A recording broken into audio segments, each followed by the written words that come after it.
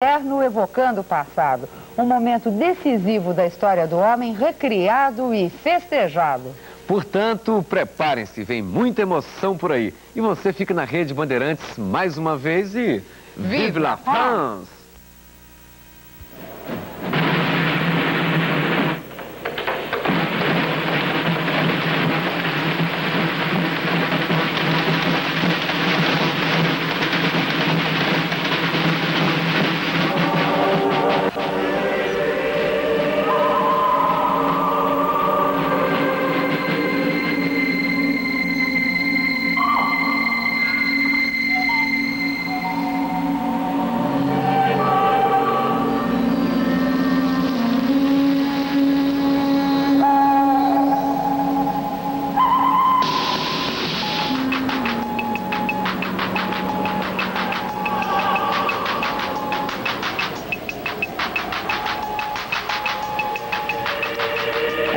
Abertura oficial da transmissão do, da Marseillaise, é a abertura oficial da televisão francesa. Pela abertura a gente já pode imaginar o que vem por aí de emoções, né? Vem, preparem seus corações. Ó.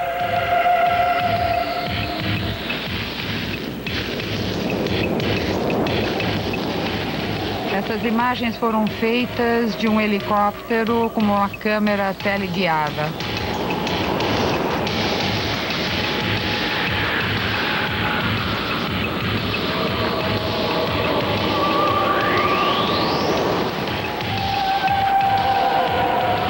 O governo francês criou uma missão especial para cuidar do bicentenário da Revolução Francesa, que está trabalhando há praticamente dois anos decidindo o que seria feito, que quais países iriam participar, e foi essa missão que resolveu contratar o Jean-Paul Goud. E assim que ele apresentou o projeto dele, o ministro da Cultura, Jacques Lang, e o próprio presidente François Mitterrand aprovaram no ato.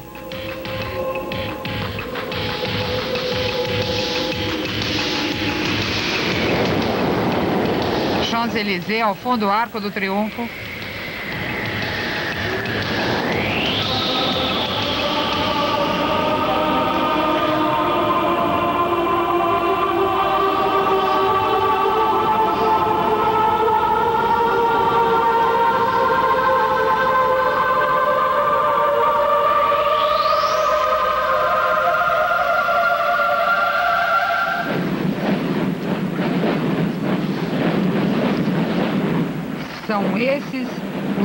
120 tocadores de tambor amadores. Eles tentam tocando Nem a terceira que marcha. Que lindo, né?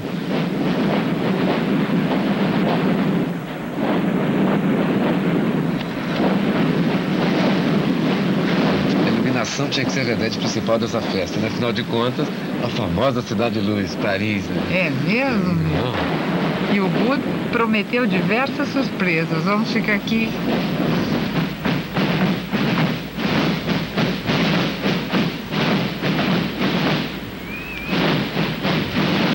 Você vê que os tambores e as bandeiras As bandeiras tricolores que eles né? carregam nas costas estão iluminadas.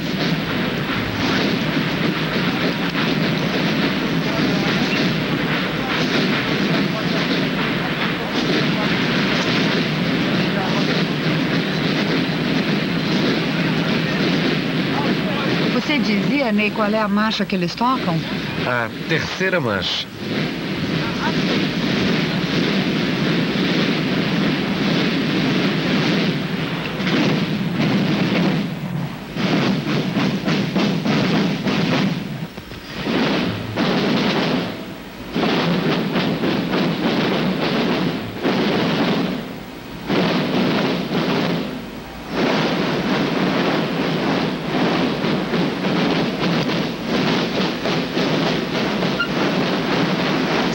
Notou que na, na meia, na meia dos tocadores também faltou talvez o o azul? É, só vermelha e branca, né? Os chineses, o tambor chinês. A ideia é que que os blocos ou quadros ou delegações não se distanciem uma da outra. Então, como que fica uma fusão, eu tenho a impressão. Essa era a ideia original do Jean-Paul Gould, justamente para simbolizar essa É, a união, união de, né, dos países. A ideia dele, da união da, da festa, ser uma coisa única só mesmo. Nossa, quanto mais escurece, mais lindo fica. Olha pra esse efeito de luz aí, ele ser bem cheio. O Arco do Triunfo parece que tá solto, né? Veja, parece que ele está surgindo É. do chão.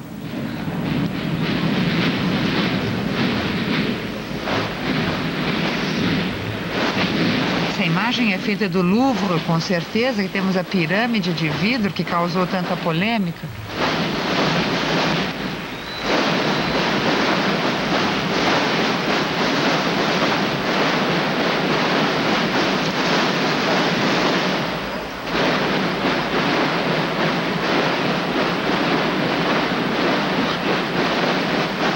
A formação deles vista de cima. Acho que a gente poderia dizer que Paris hoje, nesse momento, é o palco da democracia. né? Certo, é isso Não mesmo, é? tem toda a razão. E democracia de povos, de raças, de sons. É o que tanta gente sonha, né? É possível. Tá aí.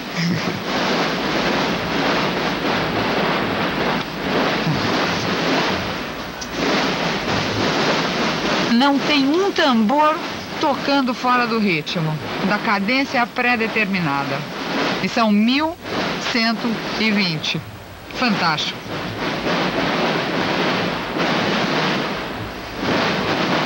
Place de la Concorde já preparada para ser o, um grande centro desse espetáculo que vemos aí do alto.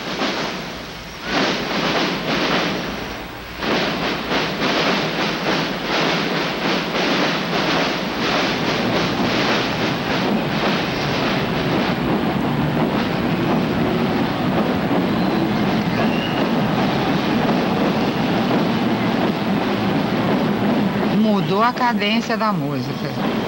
Sentiu? É. Ó.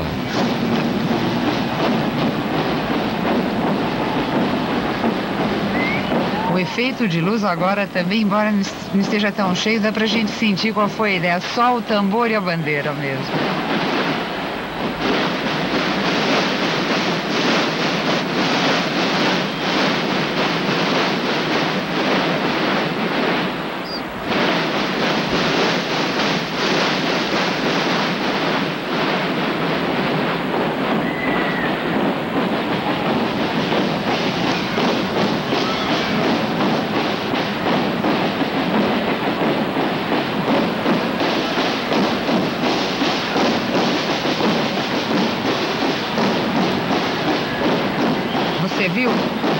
Bandeiras que vêm à frente do carro chinês são. O movimento é feito por 60 italianos da região de Siena, onde existe a festa famosa que vem desde os tempos medievais, o Páreo de Siena. E olha a roupa, né? Você viu a roupa deles? né? Eu. Escreve aí melhor pra mim. Vamos lá. Deixa, eu dar uma mostradinha que, que a gente vai comentar da roupa. É uma roupa muito interessante, são calças vermelhas folgadas, polainas pretas, a gente vai, vai ver daqui a pouquinho, ó. Olha, Paris, além de ser a festa, ser hoje o palco da democracia, também é Paris é uma grande festa hoje. Ah, ó.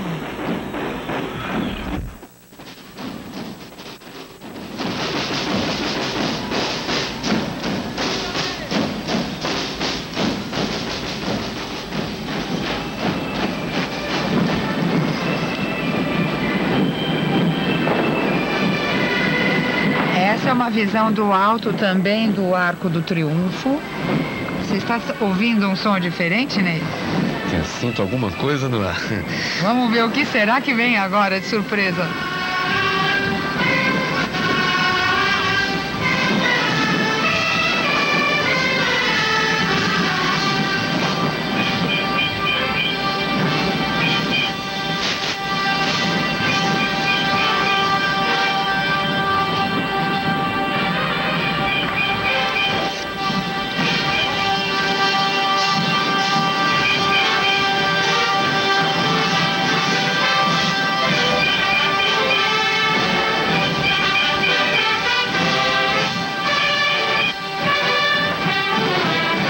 Já que o assunto é festa, a Bandeirantes também é uma festa.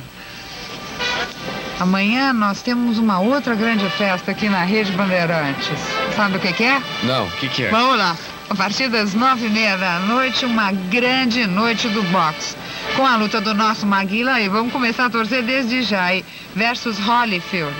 A gente já está torcendo aqui. Então amanhã, a partir das nove e meia da noite, uma outra grande festa que a Bandeirantes preparou para vocês. Maguila versus Holyfield. Bom, então o bom mesmo é continuar ligado na Rede Bandeirantes, né? Com certeza.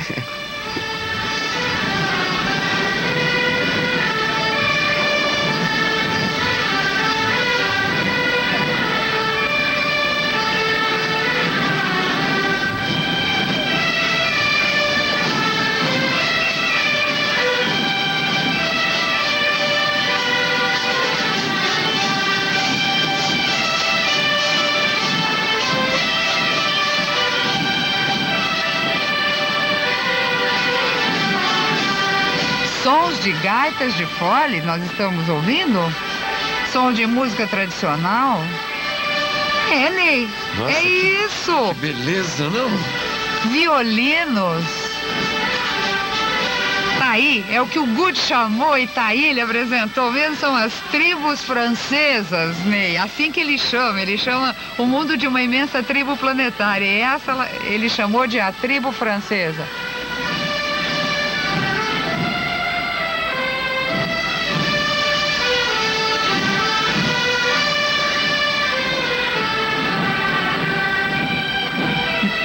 Ney, a iluminação é feita por tochas.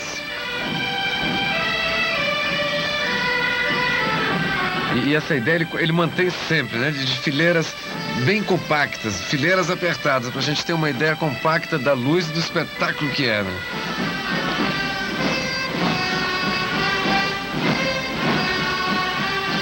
Olha as bandeiras de, de cada província francesa, Silvia. Cada uma tem quase dois metros quadrados. Né? É, é realmente grandioso, tudo é grandioso, o espetáculo e as medidas individuais de cada uma das. De tudo, das bandeiras, das luzes, o número de participantes. Aliás, você sabe que são 8 mil participantes no espetáculo todo. Bom dia. Você sabe que essa orquestra é, é feita de profissionais e amadores, né? De toda a França. É, todos juntos formam essa, essa grande orquestra. Que está desfilando ao som de A Marcha dos Mil, novamente uma criação de Wally Badarou.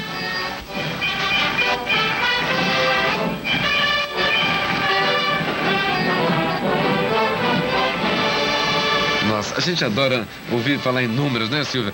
1.120 músicos, é, é uma loucura. 28 porta-bandeiras, todos eles né, vindo de todas as regiões da França. Todo mundo junto nesse momento.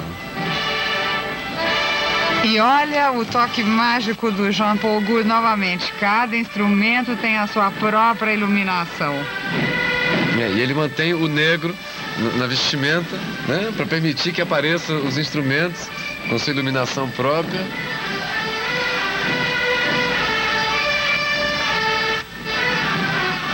Respeitando o rosto de cada cidadão. Cidadão. Não é? É isso. cidadão, que bom. Que, aliás, se ouviu pela primeira vez o termo cidadão justamente na Declaração Universal dos Direitos do Homem e do Cidadão. Um dos grandes legados que a Revolução Francesa deixou à humanidade. Que foi aprovada em 26 de agosto de 1789, né, pela Assembleia Nacional Francesa.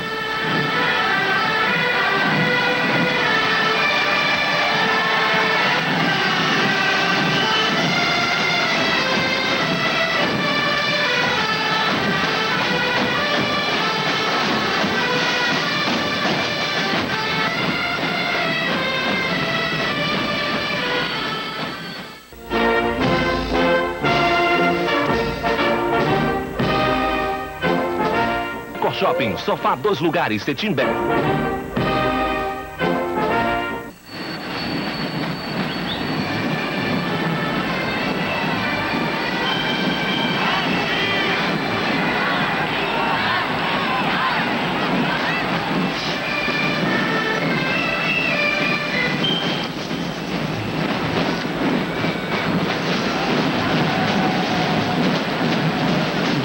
os tambores nacionais franceses, que já vimos antes,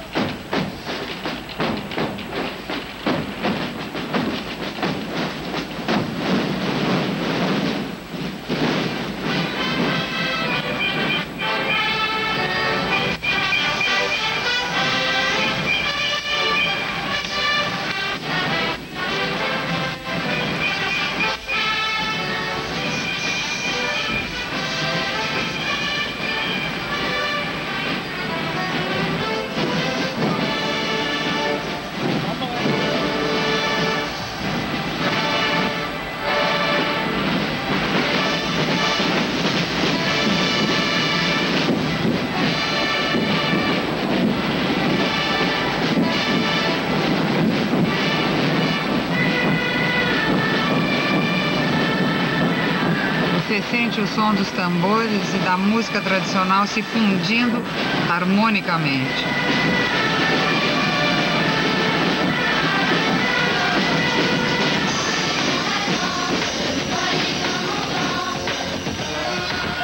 Olha, a coisa tá, tá começando a ficar mais animada.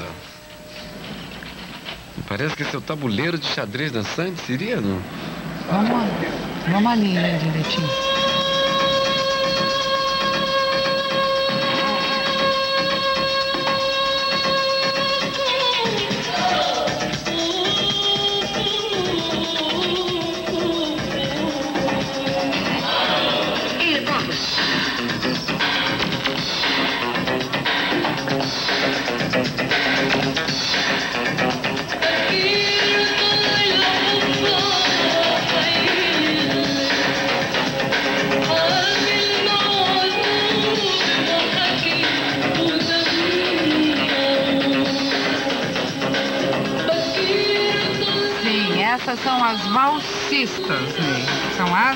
Valsistas.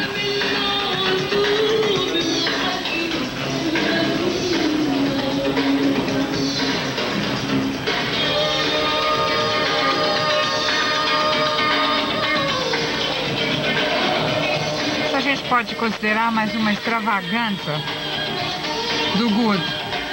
Essa Voltar, voltamos mais uma vez aos tambores tradicionais franceses, às músicas tradicionais francesas.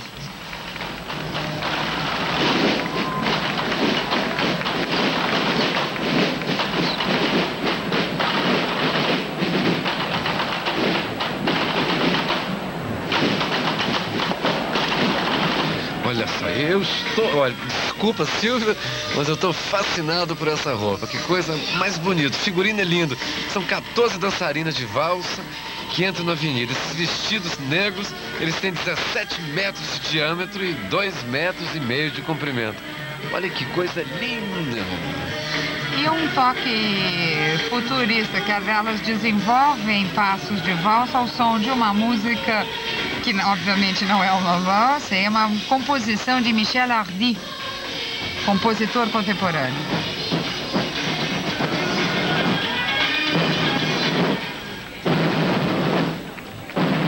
Está cumprindo o que prometeu.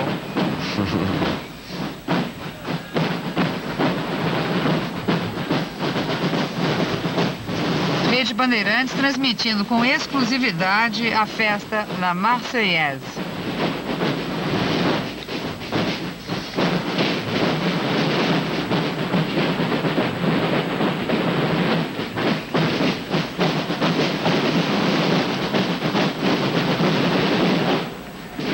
Em nenhum momento deixa de haver um desfile, um som, uma coreografia, um efeito visual, um efeito especial nesse eixo que sai do Arco do Triunfo e desce em direção à Place de la Concorde. Eu acho, Ney, que esse é, um, esse é um outro aspecto da grandiosidade deste espetáculo. Olha, cena emocionante, né? Você sabe que aí tem uma homenagem ao índio da Amazônia, né? O Brasil surge representado por uma dessas crianças que elas carregam, né? Essa é uma criança árabe. É, nos braços usam trajes que simbolizam alguns povos, né? E cada criança tem uma bandeira também atrás nas costas. Agora, Ney, esse movimento que essas dançarinas de valsa fazem, elas desfilam por todos os Champs-Élysées em cima de pequenos carros elétricos que garantem a uniformidade do seu movimento, tanto para frente, descendo a avenida, quanto esse movimento circular que elas fazem. Olha que roupa mais bonita. E, e os movimentos são copiados do, do redemoinho, né? É, exatamente.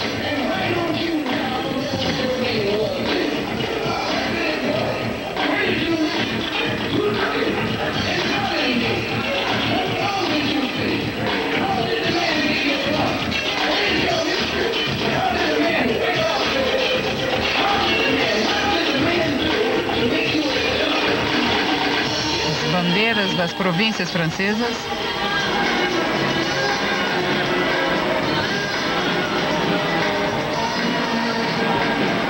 Um arlequim.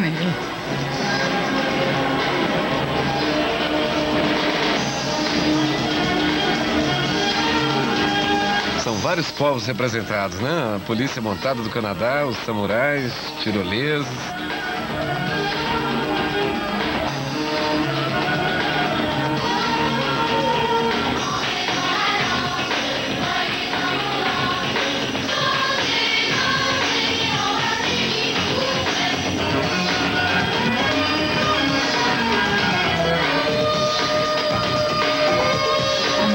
De países, de povos e de sons. Você sente sons árabes, japoneses, hindus, africanos, brasileiros. Olha o Marajá ali sentadinho, como Mara... um bom Marajá.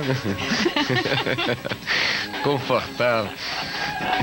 Eu estava rindo aqui, pensando comigo sozinho, coisa bem de nordestino. Quando eu vi o movimento, falei, meu Deus, isso parece um rio de moinho, né? Rio de moinho. Rio de moinho, né? Não um roda-moinho, né?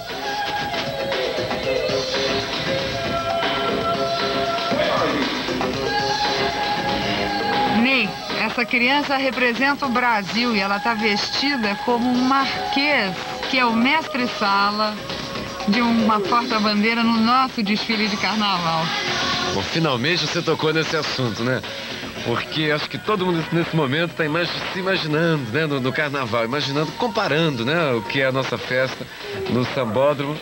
E comparando né? com esse espetáculo. Não vamos desprezar um pouquinho também o que é nosso, né? O nosso Não. carnaval é um grande espetáculo também, né? Japão, samurai, olha aí, com a bandeira japonesa.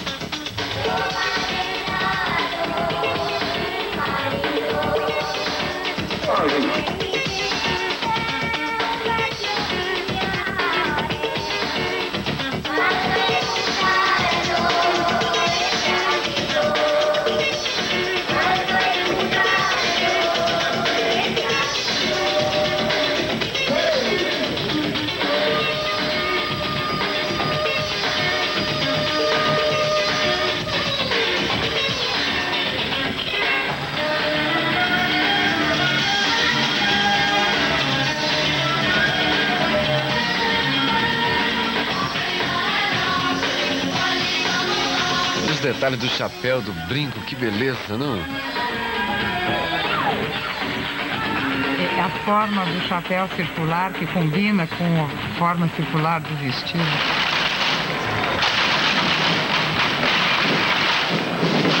Tambores nacionais franceses novamente.